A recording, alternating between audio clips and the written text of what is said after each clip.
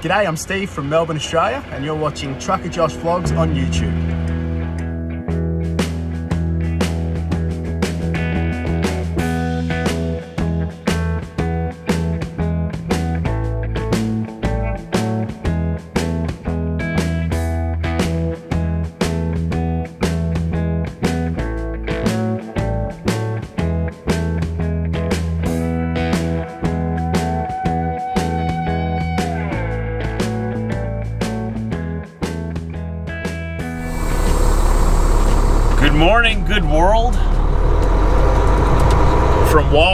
Ontario. W A W A. Wawa, Ontario. I don't know. I didn't name it. We're Just getting our day going here. We're going to be in Toronto late tonight. So I don't know where we're going to park. I might stay up uh, north of Toronto, but then I got to go through Toronto during traffic tomorrow. So that's not a good idea. What are you doing, buddy? Do you not see me driving? Right? Okay. Okay, you're going to the... Okay. That's cool. Whatever. Whatever. I got you. I was in the driveway, but I got you. We were both sort of in the driveway. I don't know. Okay, so uh, like I said, we're gonna go through Toronto late tonight and try and find some parking near Fergus, Ontario, where I have to unload my first drop tomorrow. Uh, after midnight tonight, so wish me luck. It's not gonna be fun. Come on, truck, decide what gear you want. Come on. Dumb automatic. Come on, let's go. So I bought this truck because it was at the right place at the right time and at the right price and from the right place. And everything sort of just lined up for me to buy this truck, right? 200 meters, turn left on. Oh, Drive sorry, yes. turn This is Karen. Meters. This is Karen. She's my uh, navigator. She likes to interrupt me a lot and be the center of attention. Talks a lot. Very bossy. Don't mind her. Ignore her. oh, I'm gonna get comments now. You telling everyone to ignore a woman? Yep. So, uh, what was I saying now? What was I saying? Me in Toronto tonight. I forgot what I was saying. But uh, it's gonna be a good day either way. I can feel it. I had a really good sleep. I don't have a stop sign. I don't know what you're waiting for, buddy. Which way do you want to go? Are you going straight? I guess I didn't have a stop sign either. What a weird intersection. Why didn't I have a stop sign? I should have a stop sign. I stopped anyway. Turn right. Absolutely, Karen. What a great idea. Gotta deliver our freight. So we got one delivery tomorrow in uh, Ontario, and then we got a second delivery in Brampton, Ontario. Yay. Continue on this road for 220 kilometers. Yeah, sure, why not? We're gonna stop in Sault Ste. Marie for fuel and possibly a shower. Probably a shower. Yeah, we'll have a shower.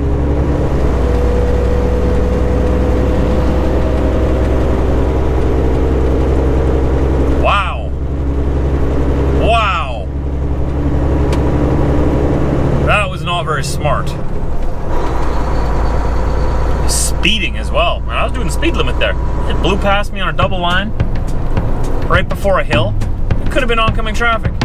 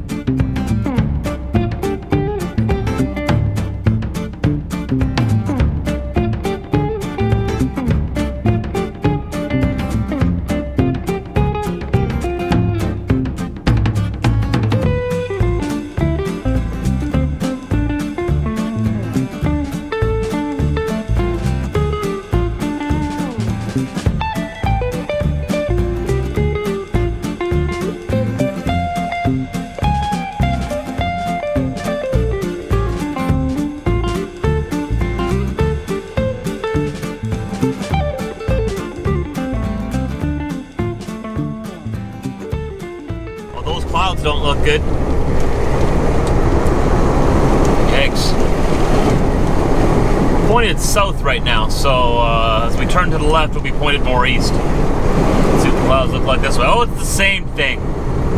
Oh, joy. Looks like we're going to be running into some weather today. Oh, it's getting worse. Oh, no, no, no. It's mostly to the south, over the lake. Okay. Guess we'll see what happens. Sault Ste. Marie. On the Canadian side, it's also called Sault Ste. Marie across the river on the American side. I believe that's in northern Michigan. Correct me if I'm wrong, I can't see the map right now. So we're just on the Canadian side. We're gonna pull in at the Flying J here, grab some fuel, some DEF, and a shower, and then continue down the road. No walks for us today. I was gonna walk around Sault Ste. Marie if I had time today, but we're running a little bit of a tight schedule tonight. I'm already going to get to uh, to the Toronto area around midnight, so I don't want to get there too much later than that because I have to unload this freight before noon tomorrow. Uh, and I do have to stop for eight hours before I can legally do anything. So if I get there at midnight, I can only start unloading it like 8, 8.30 in the morning. So no walk today. Good thing we went for a good long walk yesterday. And we'll, we'll go for another one in Brampton tomorrow. We'll take Diesel for a walk around Brampton. That's always fun. People always, uh, you, don't, you don't see a lot of dogs in Brampton. so people always give you interesting looks when you walk down the sidewalk with a dog. At least in my experience, that, that's what's happened. Brampton is a different place. All right, so here's Travel Center. What's the fuel at? Dollar thirty-four nine. What? What in the Allison trains is going on here? Dollar thirty-five. That's Northern Ontario for you. Whew! Make it hurt, right? And I get it. They want to push us towards cleaner energy, but man, you gotta make it like realistic first. Make an electric truck realistic and affordable. Then start raising the, the gas prices so that people move on to electric, right? First, don't jump the gun. You can't jump the gun. It just makes people like me mad. Because you're you're taxing me and you're you're you're raising the prices of gas, and I have no other option. I have I just have to pay the higher prices. Sure, Tesla's come out with an electric semi, but it's not ready. It's not ready, not even close to ready. So why am I being punished for using a truck that I have no other choice? I have to use a diesel engine. You know what I mean? I could totally understand if if uh, Teslas were affordable and uh, trendy, fashionable, and everybody was getting them, and you could charge them anywhere, and it was just as nice as a diesel, if not better and cheaper. Oh, I could totally understand. Yeah, tax diesel like crazy to force us onto something cleaner, right? Nope, that's not the way they want. They want their money. They want their money now. This yard is very bumpy. Very bumpy. They want their money. Oh, look at this beautiful W9 studio sleeper. When I say my next truck is gonna be a W9 studio sleeper, look at this cattle hauler right here. Look at this truck right here. That is the truck. I want a different color than that, but that's what it's gonna look like. Mm-hmm. That is beautiful. That's a studio sleeper. I think I'm in love.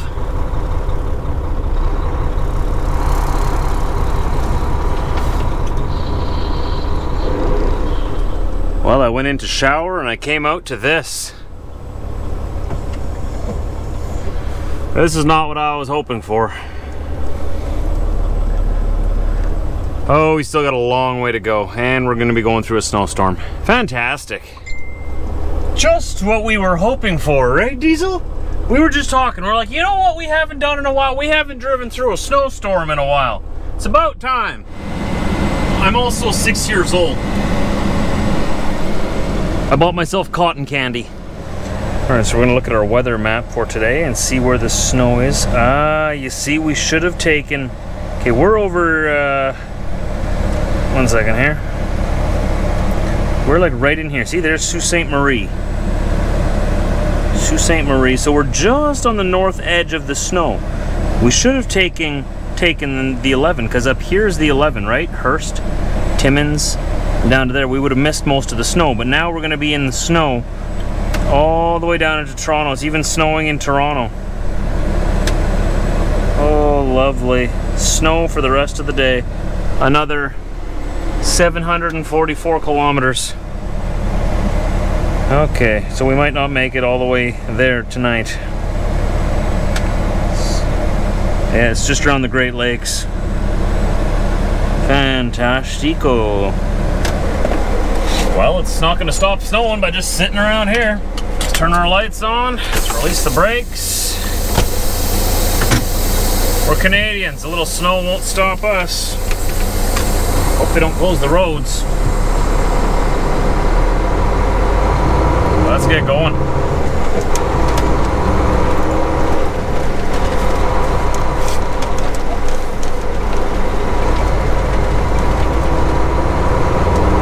Get out of this parking lot here. This is not going to be fun. This is not going to be fun. Why is this guy right in the middle of the driveway? That's a great spot to park. That's where I would parked too. I think he thought he was waiting for me, but that was unnecessary. That's okay. Nice guy anyway, right? Just trying to be nice. Okay, who's excited? Who's excited? Diesel, are you excited? I'm not excited, man. I'm not really excited either. We haven't driven through a lot of snowstorms this year yet, so uh, this is uh, Eastern Canada's welcome, welcome party for me, right? You guys planned this, didn't you? You heard, always coming to the east, quick, trigger the snow. Come on, little car, go in front of me. Go in front of me, I'm waiting for you. There you go. You drive a Chevy, so you can go first. Bring it on. It's not that bad here yet. Are you sure you want to be in that lane, bud? Because I left you plenty of room to get into this lane because we need to turn left here. Most of us do. Turn left on, second line east, Highway realize it. Last second.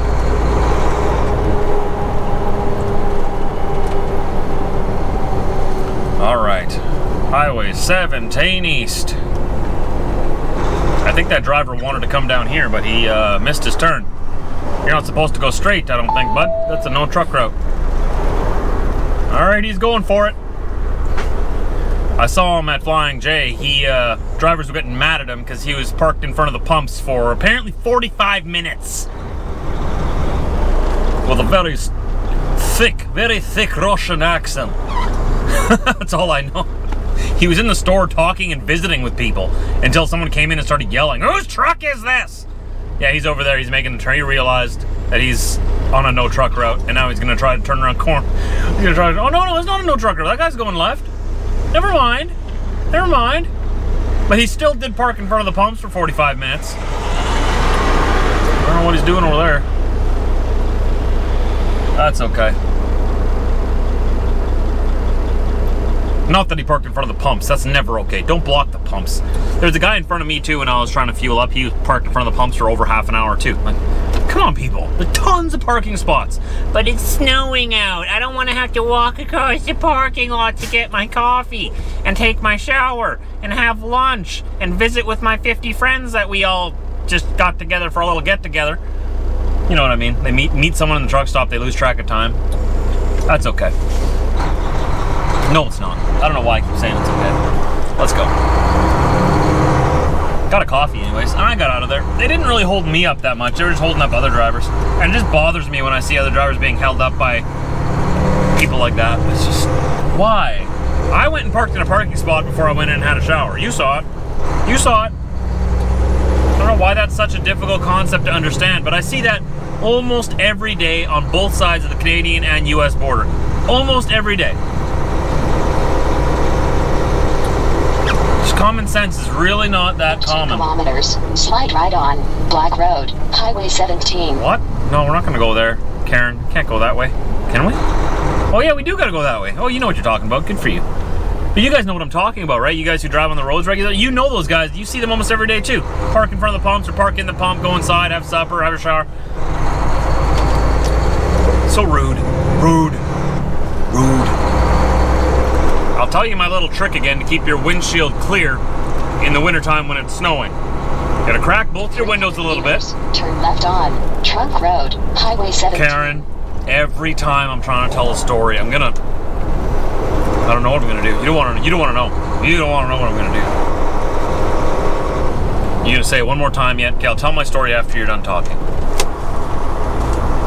Come on, get it out, spit it out. I know you want to say something. To ding at me? Okay. We can't park on these train tracks. So, uh, to keep your windshield clean and free of uh, ice and stuff, what I do is I crack both my windows. You might have to wear a sweater and a toque for this because it's gonna get cold in your truck. You have to cool down your truck, turn your vents to the floor. Heat, heat your truck through the floor. Keep your window open a crack so that all the heat that rises escapes out the windows, but you still stay warm. But you want the windshield to stay cold. That way the snowflakes bounce off the windshield and they don't melt and stick to it. Then you don't have that problem of snow on your windshield and your wipers getting all full of ice and stuff. The snow just bounces off, but you have to keep your windshield cold on the inside and outside. So sometimes that means you gotta get your whole truck interior pretty cold to cool it down. So you might need to wear your jacket or something. But that's better than having your uh, your wipers getting full of ice, right? It takes a little while for it to cool down too. It doesn't always work. this road for 5 kilometers. It doesn't always work because if they put salt on the roads and the roads are wet and people are spraying up mist at you, well, then you're gonna have to use your wipers anyway. But there's a trick: try to keep your windshield cold so that the snow doesn't stick to it. Looks like we might not have to deal with too much snow after all. Knock on wood. We'll see. I don't know. So that cotton candy was delicious. Just so you know, I haven't had cotton candy since I was since I can't remember. Long time ago. It's just as good as I remember it. Oh, I love how it just melts in your mouth. Oh. That was a treat. Well, lucky me. We got stuck behind a convoy, stuck behind a snowplow. Lovely. The snow actually stopped for a few hours. I thought that it had passed by, but as we're going south down, what is this, the 400? No, down the 60, 69. Highway 69. As we're going south towards Toronto, uh, we are experiencing more snow. I hope it doesn't get worse the further down we go. Hopefully, we're just going through a little blip right now. But hopefully, the snowplow gets out of our way soon. They're supposed to pull over and let traffic by every few miles, but this guy hasn't been doing that. So he has a few miles of vehicles backed up behind him. I appreciate what he's doing. Working long hours, keeping our roads clear so we can travel safely. But at the same time, you know, need to let traffic by every now and then, maybe. Maybe a little every now and then. What do you say? Well, we've gotten a little further along here. We're in uh, northern, southern Ontario. Let's just call it southern Ontario on the north shore. I don't know. I've never actually been through this town before. I have no idea what town this is. We didn't have to go through Toronto. Karen found me a route that that uh, allowed me to avoid Toronto. So thank God. Now look at this. We got to go through small town Ontario. Look at this. Wash that window off for you a bit there. I would love to live in a little town like this. This is actually a pretty big town to me. This is like a little. This is a city already. Come on.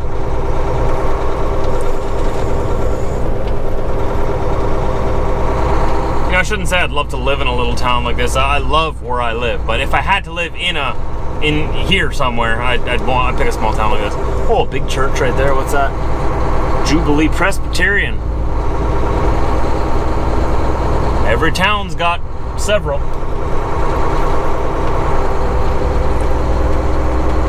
Look at these old homes. Wow. I like small town Ontario. I really, I just don't like Toronto at all, or Mississauga, or Hamilton. No big cities. I don't like them. Even London's a little too big. Kitchener's a little big too. I don't know. I like small towns. Nothing against you if you live in the big city. We got quite a bit of snow here. Thanks. I'm hoping that uh, the place where I think I'm gonna park is gonna be open. There's a Petro Pass truck stop in Fergus, Ontario. And that's where I would, uh, that's where I want to park. So we're here in The next Fergus. right onto Shore Street, Highway 43. Turn right here. Okay. I'm using Google to guide me towards uh, this Petro Pass. It's not really a truck stop, it's a card lock. So uh, I'm hoping that there's going to be room to park there. Right onto Glengarry Crescent. It looked like there's going to be a room. I checked it out on Google Earth and Google Maps, and it looks like there's room to park there. I just hope I'm not to get there and I'm to see some big, big sign that's like brand new saying, no truck parking overnight. Come on, technically it's like after midnight, so technically it's not parking overnight, it's parking in the morning. Right? Well, here we go. Oh, looks like there's room here. Your destination is on the right.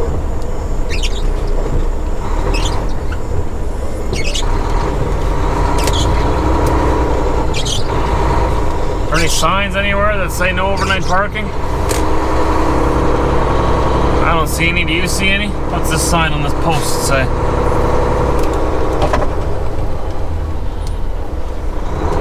Nothing. All right.